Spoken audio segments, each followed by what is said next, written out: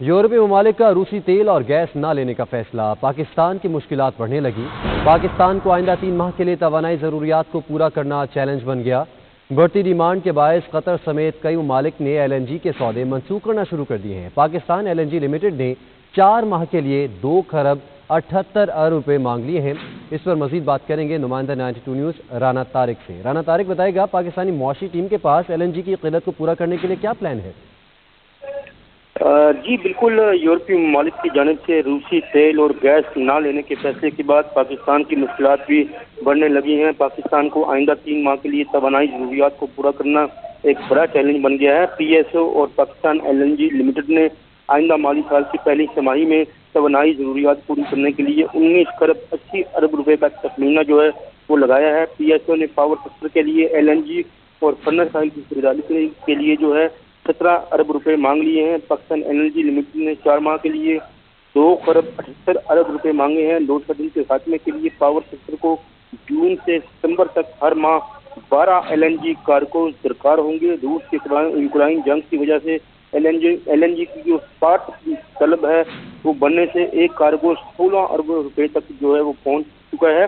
तो ये नादरन चार माह के लिए पावर सेक्टर को रोज़ाना सात सौ बीस से सात सौ अस्सी मिलियन क्यूबिक फुट गैस फ्राहम करेगी स्विट्जरलैंड के, के इलेक्ट्रिक के लिए के नए पावर प्लांट को रोज़ाना बासठ से 130 मिलियन क्यूबिक फुट गैस जो है वो फ्राहम करेगी।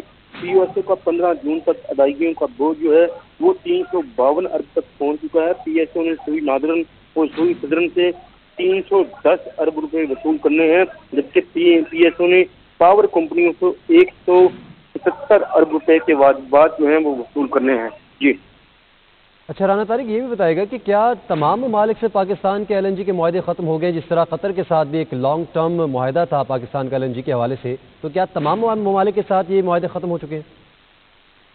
जी, पाकिस्तान सबसे जो लॉन्ग टर्म माहा किया था, वो सिर्फ़ कतर से किया था। कतर के साथ जो है, वो पिछली जो मुस्लिम लीग नून की हुकूमत की तहरीक इंसाफ की हुकूमत आने से पहले जो है, उस वक्त उन्होंने पंद्रह साल माहा किया था। लेकिन जब पाकिस्तान तहरीक इंसाफ की हुकूमत आई तो उन्होंने वो मुआवजे, उस मुआवजे पर अमल नहीं किया।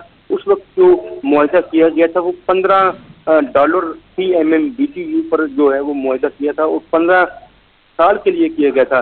लेकिन इस वक्त एल एन जी की जो कीमत है, वो बहुत बढ़ चुकी है, और स्पाट पे जो एल एन जी की खरीदारी, जो कार्गो बुकिंग के अलावा जो खरीदारी है, वो भी बहुत महँगी है। इस वक्त चालीस dollar P M M B U जो है, वो रेट उससे ज़्यादा है स्पॉट पे। तो जो मुआवजा था पाकिस्तान का, उस पर पाकिस्तान ने, जो लास्ट गवर्नमेंट थी पाकिस्तान तहरीक इंसाफ की, उन्होंने एक दिन के लिए भी उस मुआवजे पर अमल नहीं किया, जिसकी वजह से पाकिस्तान को आज ये दिन देखने पड़ रहे हैं कि कोई भी कंपनी जो है, जिससे भी मुआवजा किया जाता है, वो मुआवजा खत्म कर देती है, उसकी बुनियादी वजह है। यह है कि एल एन जी की कीमतें जो हैं, वो बहुत इंटरनेशनल मार्केट में बहुत ज़्यादा बढ़ चुकी हैं। और कोई भी कंपनी जो है, वो एल एन जी की जो पुरानी कीमत है ये और पुरानी कीमत का मुआवजा जो है, वो नहीं करना चाहती है। तमाम कंपनियाँ इस वक्त यही समझ रही हैं और यही इसी में अपने आप को फिजिबल महसूस करती हैं कि स्पार्ट पे कोई मुल्क जो है, वो एल एन जी खरीदे। और स्पार्ट पे जो एल एन जी है, वो बहुत महँगी पड़ेगी। जी। जी राना तारिक इस हवाले से मैं तफसीला बता रहे थे आपका बहुत शुक्रिया।